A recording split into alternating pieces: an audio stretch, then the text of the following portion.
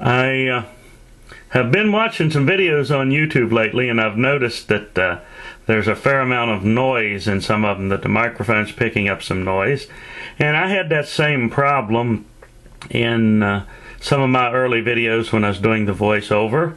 And hopefully, what worked for me will work for you. Uh, down here, we right click on the uh, volume icon.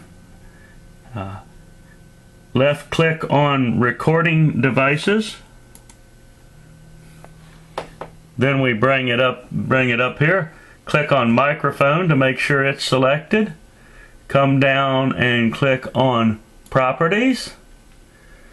Then we come up here and we click the enhancements tab.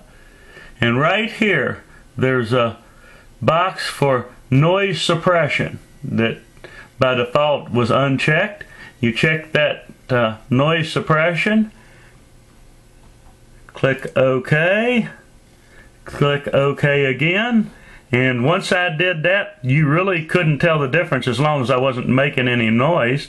Uh, for the microphone to pick up, you couldn't tell the difference whether it was on or off. Uh, so just a little trick that you might want to try.